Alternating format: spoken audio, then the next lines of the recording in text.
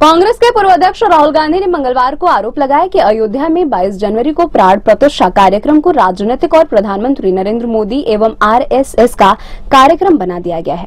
India गठबंधन इस पूरे कार्यक्रम से दूरी बना रही है। इस बीच जानकारी सामने आई है कि राहुल गांधी 22 जनवरी को शिव मंदिर में पूजा करेंगे। वहीं पश्चिम बंगाल की मुख्यमंत्री ममता बनर्जी काली मंदिर में पूजा करेंगी।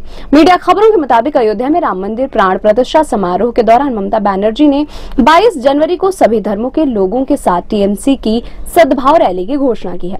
राहुल का आरोप बनाया नरेंद्र मोदी फ़ंक्शन। अयोध्या में भगवान राम के प्राण प्रतिष्ठा कार्यक्रम से जुड़े सवाल पर राहुल गांधी ने कहा कि आरएसएस और भाजपा ने 22 जनवरी के कार्यक्रम को पूरी तरह से राजनीतिक नरेंद्र मोदी फ़ंक्शन बना दिया है।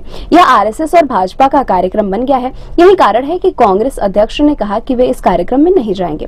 राहुल गांधी ने कहा कि हम सभी धर्मों के साथ हैं। हमारे लिए ऐसे किसी कार्यक्रम में जाना बहुत मुश्किल है, जिसे प्रधानमंत्री और आरएसएस के इर्द गिर्द तैयार किया गया है।